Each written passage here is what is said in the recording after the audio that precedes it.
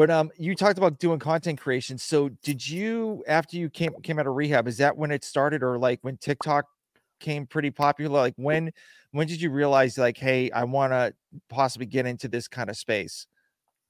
Yeah, so that's a great question. Um, you know, I got out uh, of the rehab thing and just didn't know what I was going to do, you know, at the time. I was uh, fortunate that I had, you know, my parents that were supportive and and allowed me to just go back to their place for a little bit, catch my breath, figure out what what I wanted to do next. And I owned a house at the time, and this was, you know, 2022. So not, mm. you know, real estate's doing really good at the time. Um, and I decided to put the house on the market and sell it. And it did well, and it, it allowed me to kind of pay off any debts I had, and then also had some money where it was like, all right, there's no pressure here for me to just rush into another job. You know, I was unhappy with some of the office jobs I had done. I mean, I enjoyed it at first, but got burnt out real fast. Just kind of wanted something a little bit more exciting, something more I was passionate about. So during that time that I've got a little bit of comfort room there with the the money from the selling of the house, I decided to kind of start just having fun making some comedy stuff. I was always into comedy, always considered the funny guy, always liked making people laugh from a young age, you know, till now. And so I got on TikTok. I had an account on TikTok before that, but wasn't super active with making stuff on it. And I was like, all right, I'm going to kind of figure this out and start playing around with it. So I did and started to have some success. You know, I had some some people like a lot of the stuff. I started kind of, I think the first thing that hit was like the single mom stuff that I do, like uh, trying to get the single mom next door to notice me and like, yep, yep, all these just comedic thirst trap style stuff, you know. So once that kind of had success, I was like, all right, people, people, you know, like like what I'm putting out. Let me go a little further, see if I can do some sketch type comedy and see if they like that. And they did. And so I was kind of just doing it around stuff that I was involved in at the time. So pickleball was a big one. Getting back in shape, you know, that's where the CrossFit and the fitness stuff came from. Trying to get back in shape after being out of shape, you know, I was just kind of choosing things I was doing and sort of poking fun at myself, and then found that people could relate to it because they were in the same boat or knew someone in the same boat or whatever. So just sort of took off from there.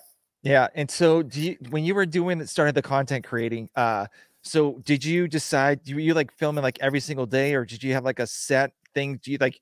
did you brainstorm most of the time before doing those skits or like was it kind of like oh like last minute like oh okay this would be a great idea let's let's do it yeah so on tiktok at the time what i was reading and hearing um, was that you should post about four times a day to make mm. to try to get something to jump off and now that could be a quick 15 second trend type video that you just do your own take on a trend or it could be this or it could be that so for a little while, I was trying to hammer that and just put them out there until the single mom stuff took. And I'd kind of, with the single mom stuff, I just sort of, it was my own thing. I, I took a twist off something, you know, it wasn't even, you, you see maybe some similar type stuff, but not really. You know, I just kind of decided to do it one day and thought it was funny. And sure enough, it, it worked.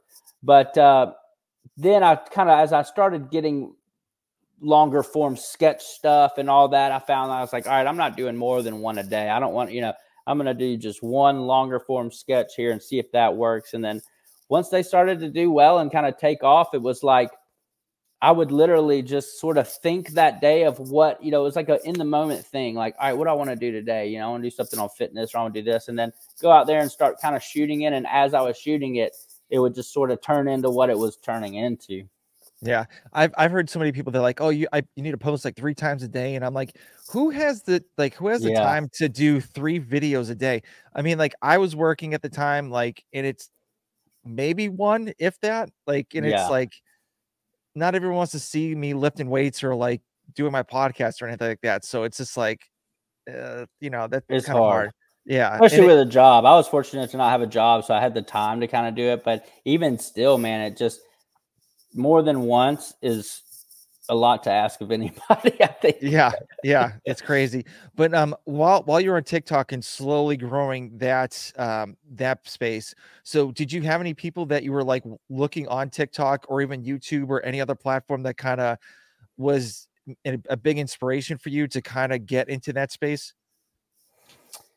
Yeah, you know, there was um I kind of discovered more more content creators that I liked as I started doing it. Um, you know, w- with TikTok, it's it's easier, I guess, because you can just scroll. All you're doing is scrolling constantly. It's not yeah. like Instagram as much. Uh, it's just constant scrolling, and so you're just coming across these videos, right? And you're seeing all these different videos of people, and I, what I would do is notice which ones were being very successful, um, how they were shot, and just kind of learning that way.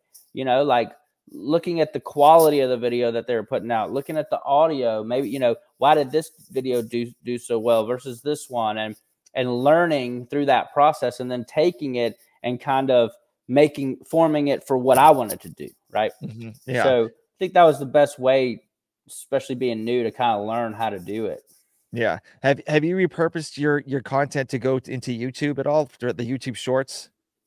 Yeah, so I'll I'll repost a lot of times for the shorts. I you know I, I want to kind of part of my goal for 2024 at least has been trying to get more serious about YouTube, and I just I want to figure out kind of what to do because as you know, I mean YouTube is it's a whole different beast, right? I mean the shorts are good, but people aren't going to YouTube for for the shorts. They're going really because you can watch all kinds of stuff on YouTube, movies, you know. Yep, yep. So I, I want to do a better job of that. I started throwing stuff on on uh, on YouTube that I make on Instagram and TikTok just to try to get some subscribers going on YouTube and get a little bit of traffic going on YouTube. So I'm going to keep doing that until I figure out I think what I want to do with uh with my YouTube channel for sure. Yeah, so I I try to post one short every single day for at least 6 to 7 days. And so I've noticed um I've I've have two two videos that have gone over a million Dang, that's awesome. And and it's crazy because like one of them, I'm not even in it, and it's just like some dude from TikTok that I follow. He did a he did like a heavy clean, and he rolled backwards, and he was on one of those right like um like those elevated platforms with like the gap in between, and the bar went over and fell in the gap, and so he got Ooh. his neck neck stuck on there. And so that was one of them that actually just went to the moon. And then there was another one where I I I think I was I was on my dock and this kid tried to do a clean and jerk and he like he jerked it, but he was like off balance. Mm-hmm. And so I said, What would you do in this situation? And then like he he dropped the bar and literally almost hit his head. But I'm like, ooh, and it just shot skyrocketed to like 1.2 million like views. Dang. And I'm like, how is and then like I do some other ones and I'm barely getting like 4,000, a thousand. So my my goal for me is like just to get over a thousand views. Yeah you know, and, I, and I'll, and I'll be happy. So, but it's like, or even a couple subscribers. The main thing is just like the views and subscribers. Yeah, yeah. YouTube is such a different beast. I mean, all the platforms are that way, man. Like I always tell people all the time that are really successful on Instagram and they're not successful on TikTok or they're because my my TikTok has slowed down a little bit because I've been so focused on Instagram. But yeah, but I, when I was doing TikTok and having success on TikTok, I wasn't focused on Instagram. And then yeah. Instagram started doing well. So I became focused on Instagram. So it's like you really have to watch these platforms. Like for those listening that are interested in this, in my experience, it's like watch each platform separately. You know, like if I want to find success on YouTube, I'm going to find a page that is kind of got the vibe that I like and similar to what how I would plan to shoot and edit my stuff and put, you know, and then not copy by any means, but just use that, you know, look at that as, as kind of an outline and then take yeah. it and, and replicate it into my own, you know, original type content and just let it fit and find stuff from other channels and pull it together and make it into something that works. So it takes yeah. a lot of watching content too, I think, to be good at it. Yeah. How, how much content do you watch per day roughly? Man, not much anymore. But when I started, I was always constantly scrolling.